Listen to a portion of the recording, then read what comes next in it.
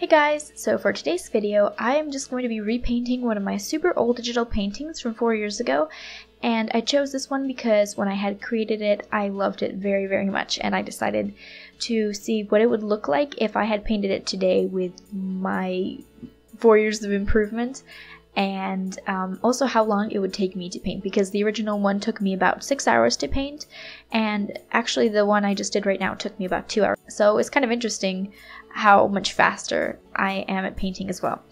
I thought this would tie in very well with what I want to talk about today, which is how to quickly improve your art. And this topic was suggested by a super lovely follower both here on YouTube and on my Instagram.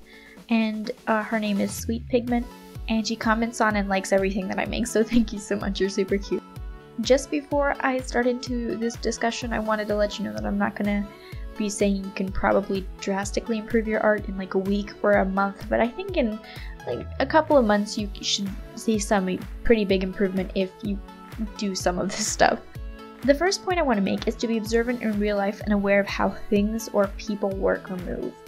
It's very important to know what a person or an object looks like before you paint it.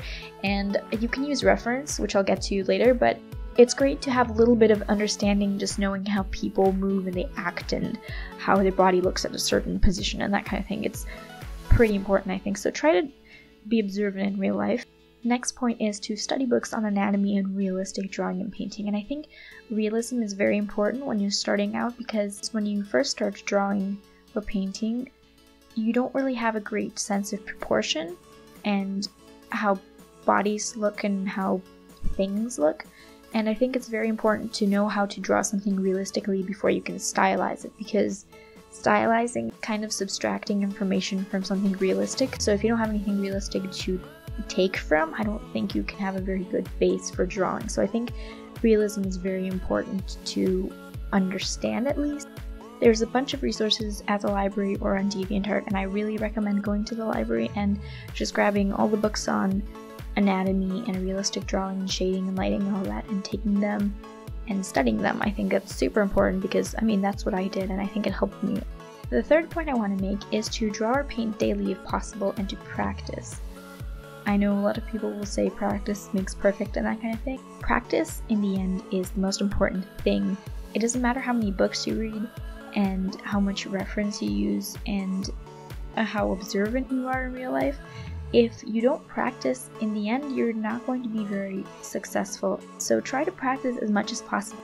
And with that, I think keeping a sketchbook is very important because it just lets you do a bunch of doodles and drawings that don't have to be complete and don't have to be perfect, but they keep you drawing and keep your hand moving. Also, if you're scared of starting a new sketchbook, just get something super cheap that you won't mind ruining, or draw on copy paper because you won't really care if you throw that away. And it kind of sucks if you draw something really nice on copy paper, but it's better than ruining a bunch of super expensive like Bristol board and watercolor paper if you're gonna not like the results on it, you know? So it takes a lot of pressure off if you use a kind of a crummy old sketchbook to draw all the time. And I have a tiny little pocket sketchbook that I keep with me all the time in my bag and I draw in it a bunch when I'm out or I write down little notes or ideas for paintings and I think it's actually very helpful to have something like that. The next point I want to make is to be consistent and I think consistency is very important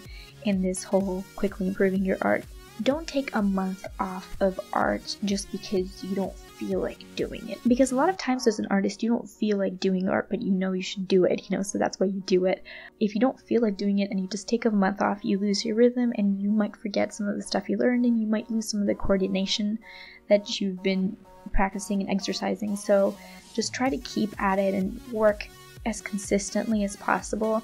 And if you need a break, just take a week or two off just to de stress, but don't take much more than that, I would say. It's just great to have a rhythm when you're drawing or painting and just to make yourself schedule for when you should draw or paint like every other day or every day or make sure that you have a certain amount of hours in a week that you did art. The next point I want to make is that you should post your art journey online and start getting followers and fans. I got Instagram just to stalk my friends and I had no intention of posting anything online. I'm not really one of those people who likes to post a bunch of like selfies and pictures of myself and whatever.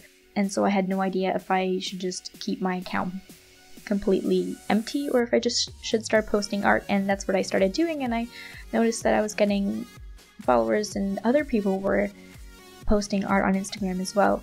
And so I was like oh this is cool. Um, and I started to build a tiny following. And it was great because a lot of people were very encouraging and they liked my art and they wanted to see more. And it made me feel like oh wow I'm actually doing something. Like people can see my art and they like it. So it made me want to post more online as opposed to being indifferent to my art.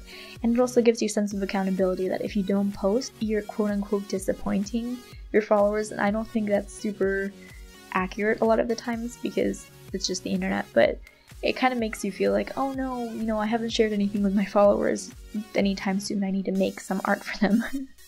so I think it's good because it keeps you accountable try out different mediums and find out what you like the most. I think that's really cool to experiment because it sometimes will get rid of the stagnation that can come from just painting or drawing the same thing over and over.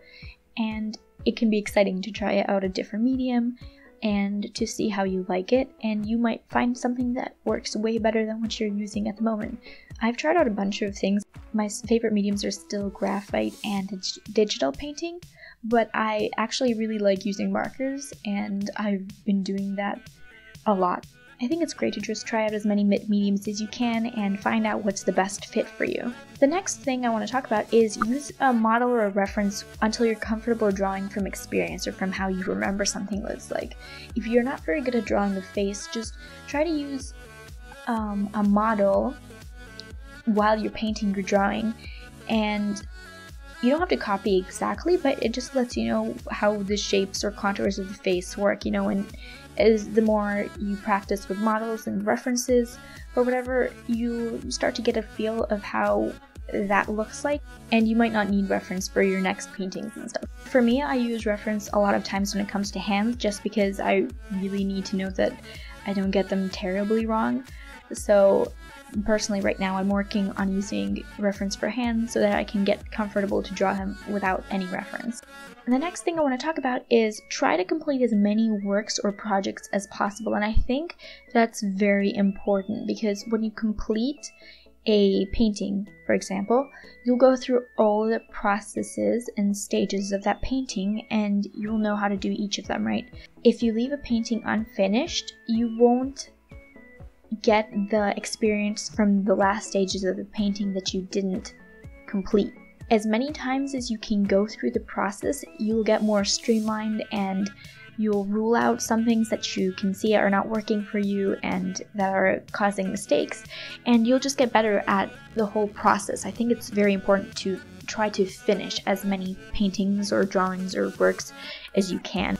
And the last point I want to make is don't push yourself too hard to improve. Don't make it this huge like black rain cloud over your head that if you don't improve you're not going to get ahead or whatever you know? Don't worry about that so much. Try to have fun with the process and be happy with how things are turning out. Some people have just been drawing longer than you have. Don't worry about not being as good as your favorite artist because if you keep working at it i'm sure you will be as good or better than they are in the end. I'm 100% sure that if you keep working at your art and you just practice and you have a positive attitude and you enjoy the process, in the end, you will have a bunch of fun and you will improve tons. So I hope that was maybe a little bit helpful for you.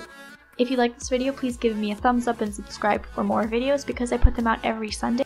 And if you would like to, please check out my shop for prints and originals. And if you would like to check it out, the link will be in the description right at the top. Thank you so much for watching. I will talk to you guys next time. Bye!